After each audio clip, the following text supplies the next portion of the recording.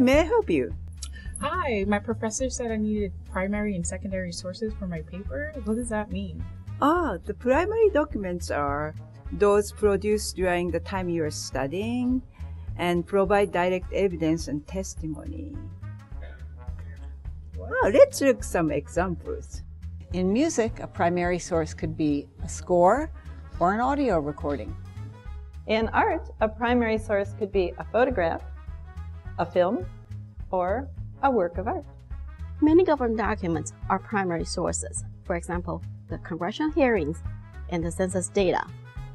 In chemistry, here's a research article on fluorescent flippers in the Journal of the American Chemical Society. In anthropology, it could look like a cultural artifact like this. Another kind of primary source is a song. I long to be a prima donna,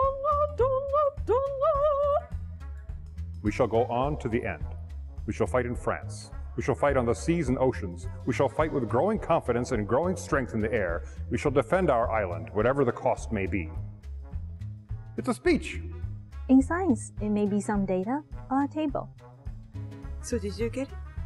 I think I got it. Okay, so what about secondary?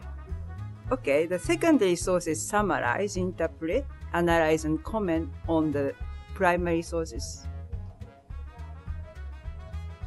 Okay, do you need example for this too? Please.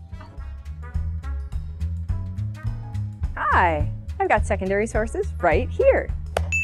So, think of secondary resources as one step removed from the primary ones that we just saw. So something like a biography of Stephen Hawking that takes, makes use of interviews, or something like the Grove Dictionary of Music and Musicians.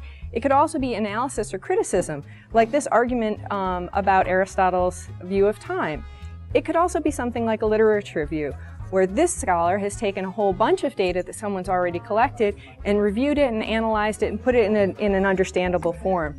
And then, of course, we have histories, like this one of the wives, mothers, and sisters of the founders of our country and those who signed the Declaration of Independence. So just think of it as one step away, one step removed. That's how you know it's secondary source.